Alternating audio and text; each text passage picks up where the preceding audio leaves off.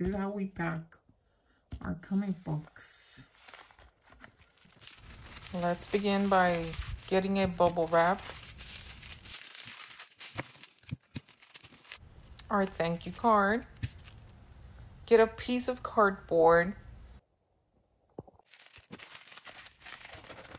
We're gonna fold it and try to make a little box. And it is ready.